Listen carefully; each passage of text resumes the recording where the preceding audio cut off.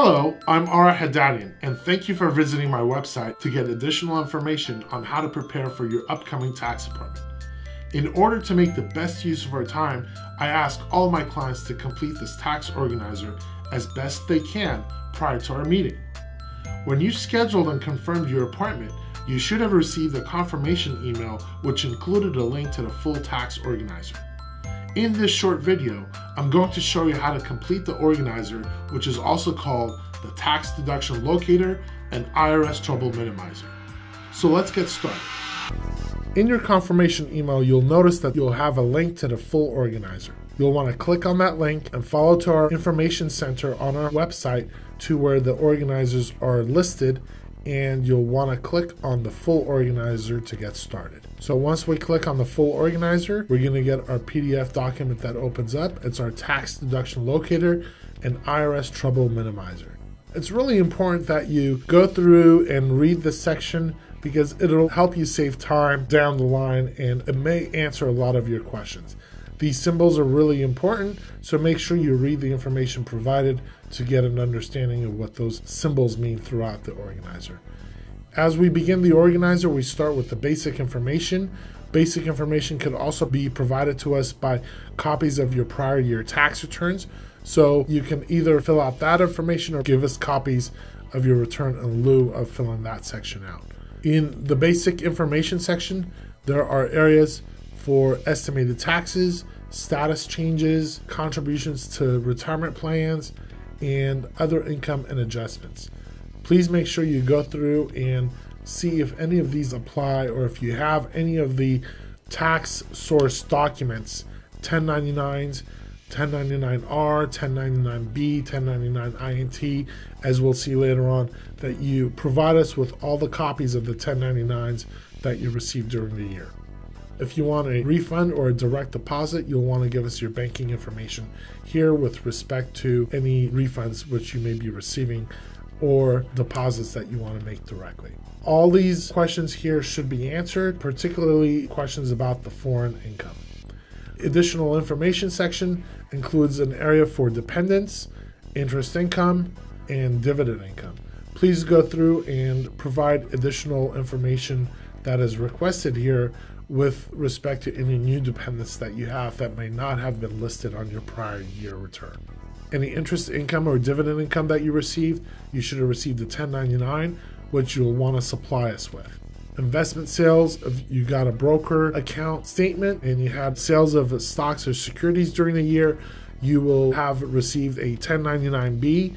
We'll need to get a copy of that to make sure that we have your investment sales recorded properly child and dependent care expenses, if you have any, if it applies to you, you'll want to fill out this section here. If you itemize your deductions, then you'll want to go through these next two pages, section B. Medical expenses, there have been changes this year, so it's 10% instead of seven and a half. So most of the time people have medical expenses, but if it doesn't exceed more than 10% of your adjusted gross income, and if you're not itemizing, it may not apply. So you may want to consider whether you want to dig up all those receipts or not. So we have investment interest expenses, any brokerage or margin accounts, and taxes paid.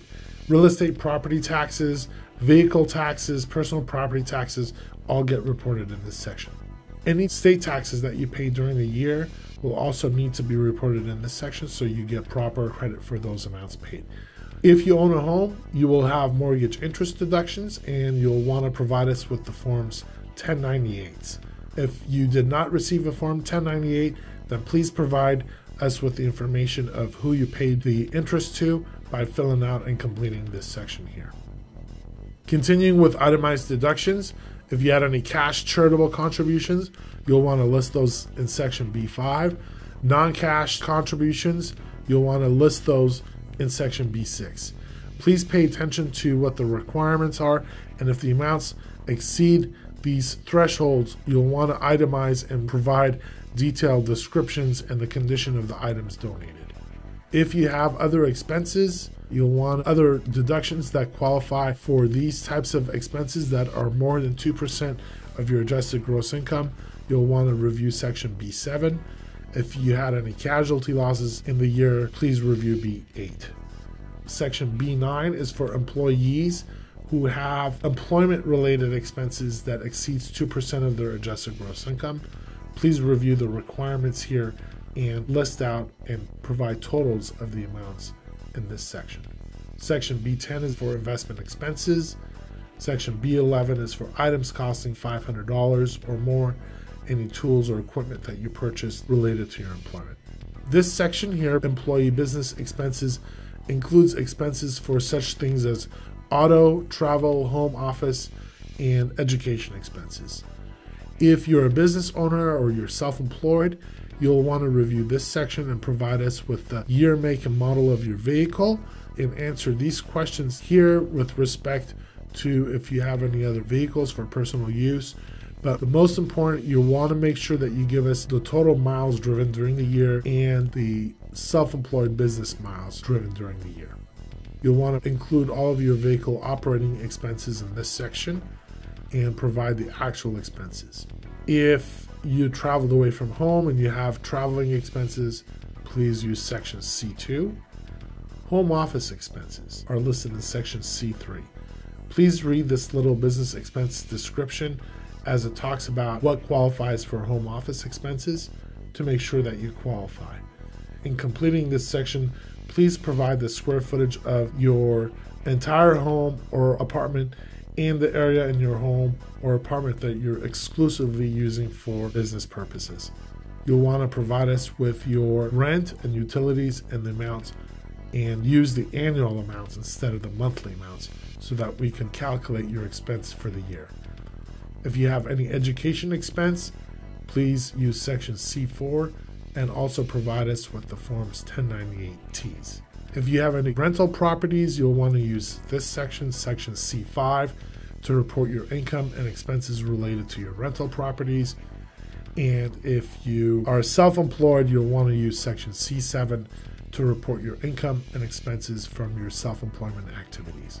If you have any business assets that you purchased during the year that you use in your self employed business or your rental business activity, you'll want to make sure to report that information in section C6. These expenses listed here are the most common types of expenses for a self employed individual.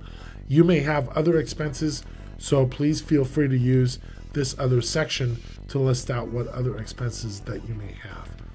Please provide us the totals for the years. We don't need individual receipts, but however, we need you to go through and add up your receipts during the year and provide us with the totals. You need to make sure that you've got your receipts and documentation to support the expenses that you're claiming on this organizer. If you relocated or if you have any debt relief or if you made some home improvements that qualify for green energy credits, you will want to use this section. Home sale provide us with the escrow closing statements for both the purchase and the sale of the property so we can correctly credit you the selling expenses that are normally disclosed on the escrow statements. Home energy credits and moving expenses. To qualify for the moving expense deduction, the distance to the new job from your old home must be at least 50 miles. So if that applies to you in your situation of having moved during the year, please fill out section D3. Getting down here to section D4, if you had any debt relief or you had a foreclosure during the year, you'll want to review this section and provide us with the respective Form 1099C or 1099A, which you may have received from the lending institution. If you have any other questions that are not addressed here on this organizer, please list them out here and we will discuss them during our appointment. And finally, section D6 is the signature section. All organizers must be signed by both taxpayers if applicable. Otherwise, just sign the organizer and date it and make sure your spouse signs it if we're filing a married filing joint return. And I look forward to seeing you at your appointment time.